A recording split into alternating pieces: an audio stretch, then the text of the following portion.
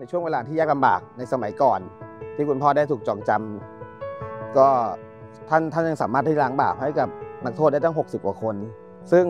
ผมว่าเป็นอะไรที่ยากมาก เพราะว่าอย่างในส่วนตัวผมทำงานกับครอบครัวกลุ่มครอบครัวเนี่ยเราก็รู้สึกว่าการการเข้าหาคนหรือการที่จะให้คนคนคนหนึ่งกลับใจมา หาพระเนี่ยค่อนข้างยากนะ แต่คุณพ่อเนี่ย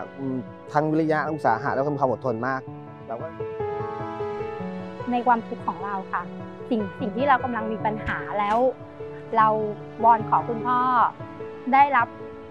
ความช่วยเหลือจากคุณพ่อ และเชื่อมั่นว่าเสียงภาวนาของเราที่ผ่านคุณพ่อ ผ่านคำเสนอวิงวอนของคุณพ่อไปถึงพระเจ้า มั่นใจว่าพระเจ้าได้ยินเสียงภาวนาของเรา ที่ผ่านทางคุณพ่อไปค่ะ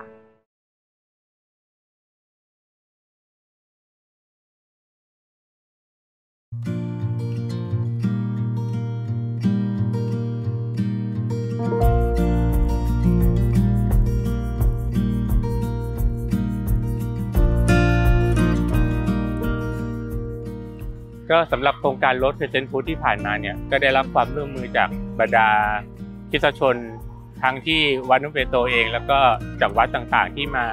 แสวงบุญมาร่วมลงชื่อ ซึ่งจริงๆแล้วการร่วมโครงการรถเพจเซนฟู้ดเนี่ยก็คือการช่วยกันส่งเสริมความเชื่อความศรัทธาให้กับพ่อนิโคลัสนะครับ แล้วก็มีคนขอความช่วยเหลือจากคุณพ่อแล้วก็เขียนลงใน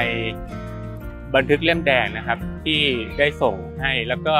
ทำให้ ได้ติดตามผล โดยเฉพาะกับคนที่ได้รับอัศจรรย์เนี่ยก็มีหลายเคสที่น่าสนใจแล้วก็กำลังติดตามอยู่ครับ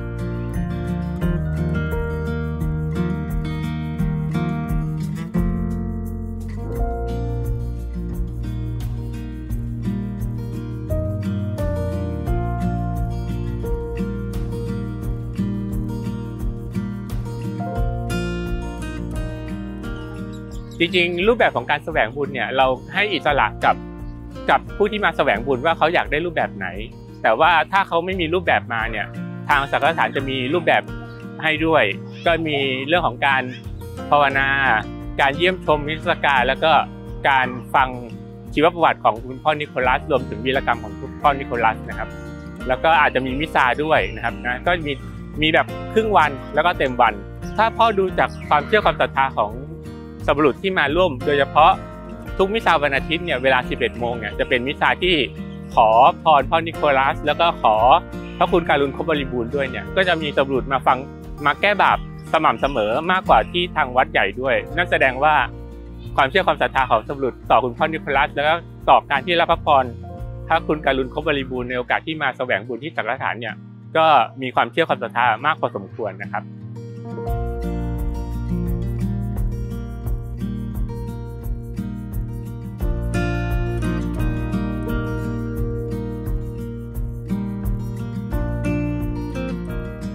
มีจริงๆแล้วช่วงที่มีการจัดโครงการรถทิสเซนฮูดเนี่ยแล้วก็มีการแจกพระธาตุเนี่ยก็มีคนมามีมีความสนใจมาก แล้วก็มีคนมาแสวงบุญ แล้วก็ขอพระธาตุกลับไป แล้วก็มีทั้งขอพระธาตุฝากกับคนที่ป่วยที่อยู่ที่บ้านด้วยนะครับนะก็จริงๆแล้วเราก็อยากที่จะให้นะ แต่ว่าก็มีส่วนหนึ่งที่ต้องแบบว่าเก็บไว้สำหรับสงวนไว้สำหรับเวลาที่ท่านบุญญาราศีได้รับการประกาศเป็นนักบุญด้วยนะครับนะส่วนพระธาตุที่ทางสังฆทานแจกเนี่ยก็ได้ ให้ความความรู้กับสำรวจด้วยว่าเป็นพระธาตุชั้นที่ 1 และชั้นที่ 2ปนกัน จริงๆแล้วพระธาตุมี 3 ชั้นนะครับ ก็มีชั้นที่ 1 ก็จะเป็นพระธาตุที่เป็นอวัยวะของบรรดาผู้ศักดิ์สิทธิ์เหล่านั้นนะครับนะไม่ว่าจะเป็นร่างกายเป็นกระดูกเป็นเลือดนะครับนะเป็นเส้นผมหรือเป็นอะไรที่เป็นอวัยวะของท่านเหล่านั้นนะครับนะส่วนพระธาตุชั้นที่2เนี่ยจะเป็นข้าวของเครื่องใช้เสื้อผ้า แล้วก็ผ้าอาจจะเป็นผ้าพันแผลที่มีเปื้อนเลือด หรือไม่ก็เป็นหนังสือศรัทธา หนังสือสวด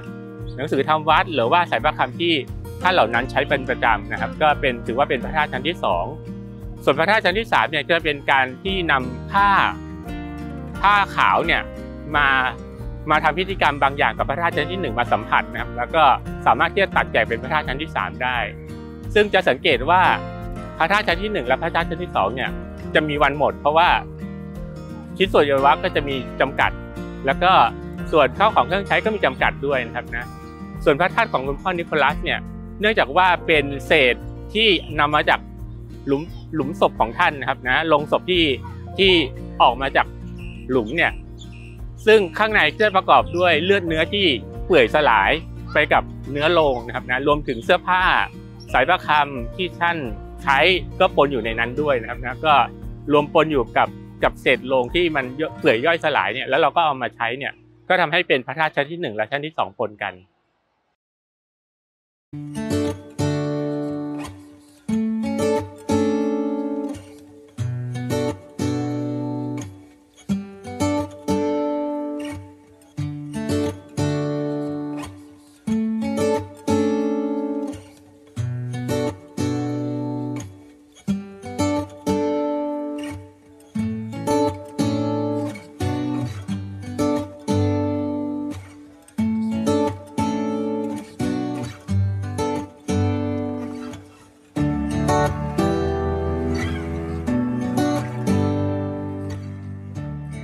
คือจริงๆพ่อนิโคลัสเนี่ยมีคุณธรรม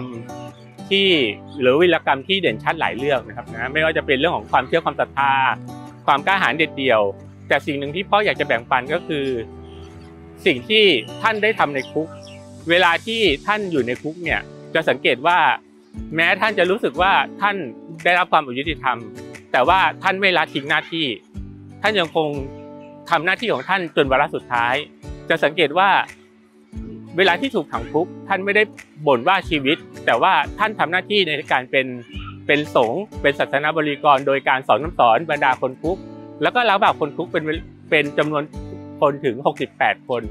นั่นแสดงว่าพ่อนิโคลัสไม่ได้เอาข้อจำกัดต่างๆ มาเป็นเครื่องกีดขวางในการทำงานของท่าน ซึ่งเป็นบทสอนกับเราที่ชนด้วยว่า บางทีเราบ่นว่าสถานการณ์ความยากลำบากในชีวิตทำให้เราไม่สามารถเชื่อในพระเป็นเจ้าได้ เราว่าพระเป็นเจ้าได้ แต่ว่า สิ่งเหล่านี้ต้องเป็นเหมือนพ่อนิโคลัสที่ไม่บ่นว่าพระเป็นเจ้า แต่ว่าใช้ทุกๆโอกาสในชีวิต ซื่อสัตย์ในการเป็นสิทธิ์ของพระเป็นเจ้าอย่างแท้จริง